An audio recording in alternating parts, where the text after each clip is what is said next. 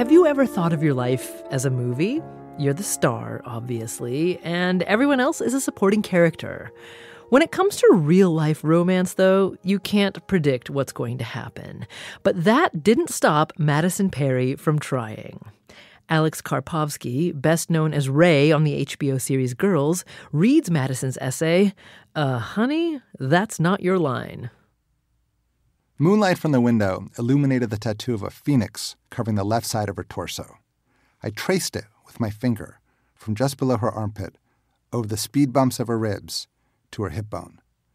I'd only seen tattoos like this in the movies, never in person, never this close, and never in my own bed. I knew I had found my very own manic pixie dream girl. When he was the film critic of the AV Club, Nathan Rabin coined the term manic pixie dream girl to describe the love interest in Cameron Crowe's Elizabethtown, though the character type has been in many movies before and since.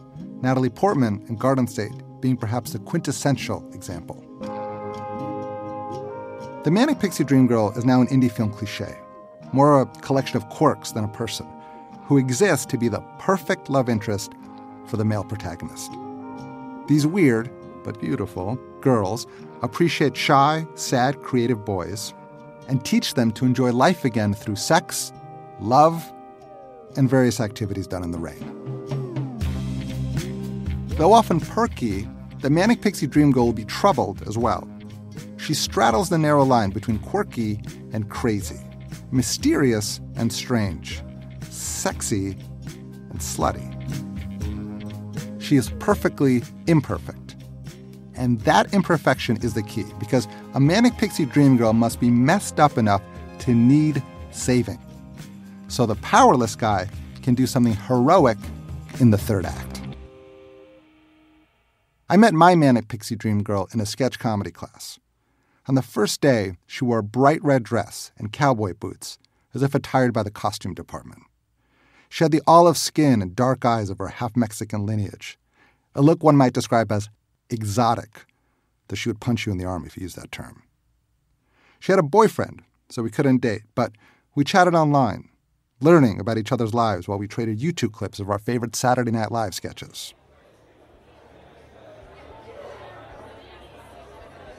One hot summer afternoon, we met at a bar with the intention of writing sketches together, but our plans changed, as they often do with Manic Pixie Dream Girls. We never opened our notebooks and instead went on an impromptu bar crawl.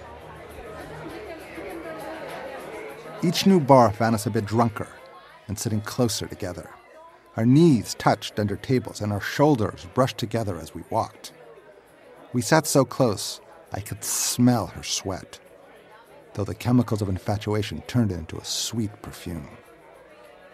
The night ended with a drunken attempted kiss by me, which she ducked under. I can't cheat on my boyfriend, she said, even if things aren't going well. Not going well. I had hope, more than hope, it turned out.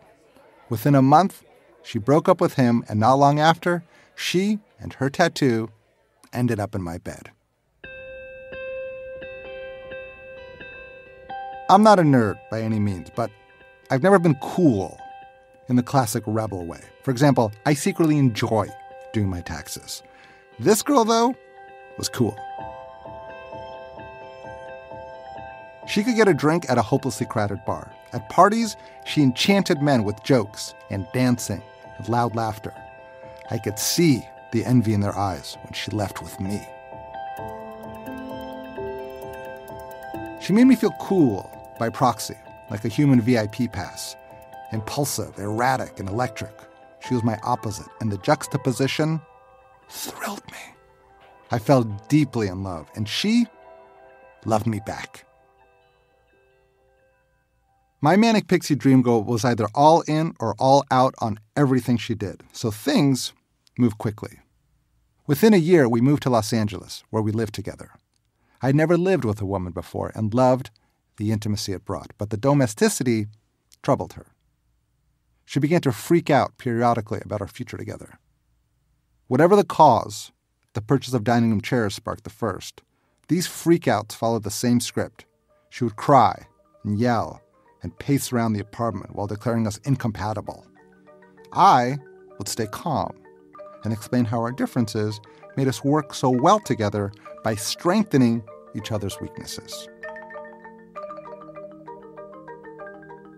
I always justified why she shouldn't be freaking out, why we should be together. In essence, why her feelings were wrong. Shocker, people's feelings are never wrong. I didn't mind the episodes so much. I consider them the symptom of my manic pixie dream girl being perfectly imperfect.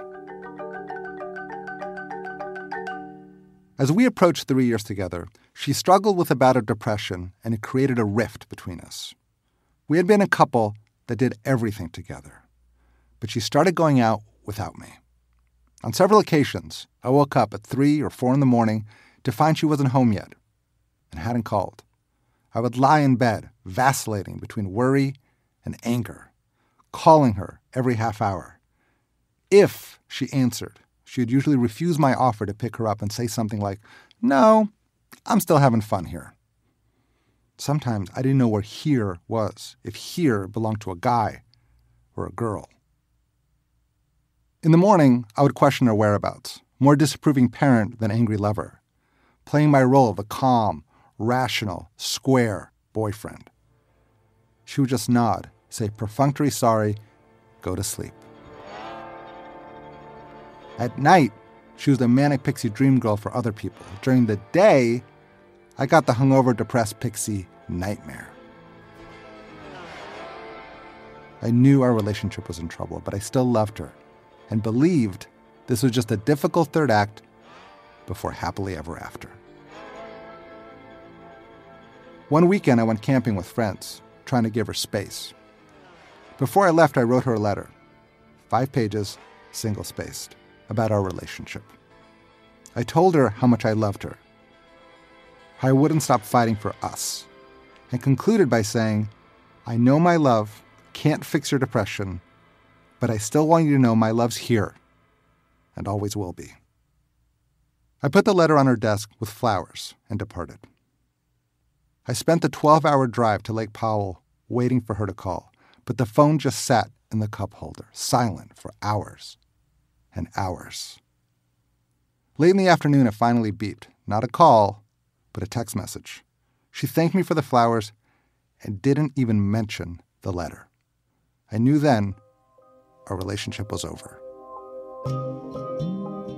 While the Manic Pixie Dream Girl always rescues the man from the doldrums of life in the first act of the movie, the roles reverse in the end, with him ultimately saving her with his love. Beyond the coolness and excitement they bestow, this is the true gift of the Manic Pixie Dream Girl. Because fixing something, especially when it's a person, is what makes a man feel most valuable. When I said in my letter, I knew my love couldn't fix her depression, I was lying. I thought my love could fix everything, including her depression. That letter was my grand gesture, the one that saved the relationship and the girl. It was my Lloyd Dobler moment, holding a boombox over my head, blasting In Your Eyes. In the movies, the romantic gesture works, but it failed me in real life. This was like Diane Court coming to the window, only to shut it so she could go back to sleep. I gave her my heart. She thanked me for the $12.99 flowers. What makes movies magical is not that incredible things happen in them. Incredible things happen in real life. No, what makes movies magical is they end right after the incredible thing happens. They stop after the war is over, after the team wins the game, after the boy gets the girl. But in life, the story keeps going, and the boy can later lose the girl happily ever after is too boring for a manic pixie dream girl. Not long after I returned from my trip, she dumped me. There'd be no effort to save the relationship. No longer all in, she was all out. It seemed my love couldn't fix her after all, and even worse, she didn't want to be fixed. Needing to be repaired is the number one rule of being a manic pixie dream girl. How could she ignore it? She could ignore it because she wasn't a manic pixie dream girl. She wasn't a character or plot device in my story or some damaged creature with deep despair that I and only I could cure as part of my hero's journey. She was simply someone who had fallen out of love with her boyfriend, which happens. It's really uncinematic, but it happens. So, our story ended. Not with credits rolling to freeze our relationship in eternal bliss, but with crying and the division of possessions. I kept the dining room chairs, she kept the old timey typewriters. It took a while, but I found someone new. This time, I'm trying to make ours an original love story, instead of one I stole from the movies.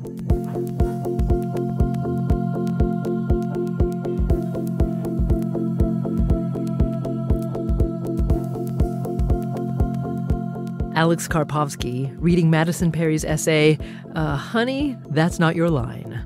We'll hear from Madison after the break.